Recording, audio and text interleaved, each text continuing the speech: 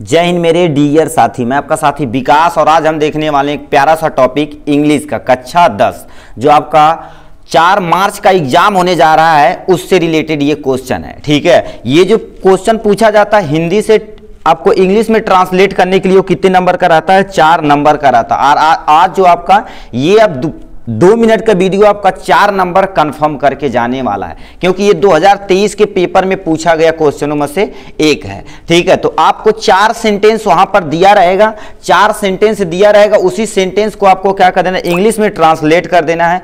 English में यदि translate कर देंगे, जितने सेंटेंस को करेंगे आप, उतना आपको नंबर मिलता चला जाएगा। हर एक सेंटेंस का एक एक नंबर रहता है। तो हम इसमें आप देखने वाले क्या? लिखा है, भारत तेज़ी से उन्नति कर रहा है, यानी भारत जो है तेज़ी से उन्नति कर रहा रहा है। इसका इंग्लिश तुम्हें बनाना है, पहले हिंदी पढ़ लेते भारत तेज़ी से उन्नति कर रहा है। यह एक प्रगतिशील देश है। जनसंख्या और बढ़ती कीमतें बड़ी समस्या हैं। यदि हम उन्हें नियंत्रित कर लें तो हमारा देश क्या हो सकता महान बन सकता है। तो इसी का हमें इंग्लिश में ट्रांसलेट करने की रिक्वायरमेंट है। ठीक है तो हम पहला जो सेंटेंस आपको क्या कर रखा भारत तेज़ी से उन्नति की, उन्नति कर रहा है। तो भारत तो आपको देखिए यदि थोड़ा बहुत ही आता है, कोई टेंशन नहीं, ठीक है? तो भारत यानी इंडिया, यानी कर रहा है तो इज़ लगा देंगे उन्नत। उन्नत का क्या होता है? प्रोग्रेस होता है। तो कर रहा है तो कॉन्टिन्यूस सेंट है।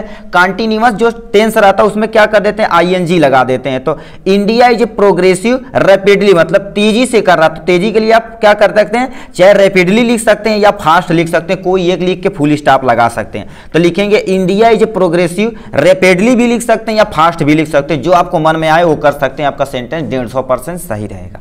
तो एक सेंटेंस हमने ये कवर किया। लिखा, यह एक प्रगतिशील देश है। मतलब जो यह है भारत जो एक प्रगतिशील देश है। तो क्या लिखाएँगे it is a developing country मतलब देखा जाए भारत इज़ ए ठीक है डेवलपिंग कंट्री तो यहाँ पर क्या लिख दिया, यह लिख दिया है, ठीक है तो क्या करेंगे it is a developing country तो आपका क्या हो जाएगा, ये आपका काम बन गया इसमें। नेक्स्ट पॉइंट में लिखा जनसंख्या और बढ़ती कीमतें बड़ी समस्या मतलब जो अपने देश में जनसंख्या और बढ़ती कीमतों की बड़ी समस्या, इसी को लिखना। तो जनसंख्या मतलब पॉपुलेशन एंड राइजिंग प्राइज मतलब बढ़ती कीमतें आर द बिग प्रॉब्लम तो क्या लिखेंगे? Population and rising price rising मतलब बढ़ना प्राइस मतलब कीमत. आर बिग प्रॉब्लम हो गई है, ठीक है? तो क्या लिखेंगे? पॉपुलेशन एंड राइजिंग यानी rising prices are the big problem full stop आपको लगा देना इसमें. लास्ट एंड फाइनल यदि हम इन्हें नियंत्रित कर ले तो हमारा देश क्या होता है? महान बन सकता है. तो देखिए इफ़ हम वी हो जाएगा। नियंत्रित मतलब कंट्रोल ठीक है? इन्हें मतलब दीज कर दिए, ठीक है?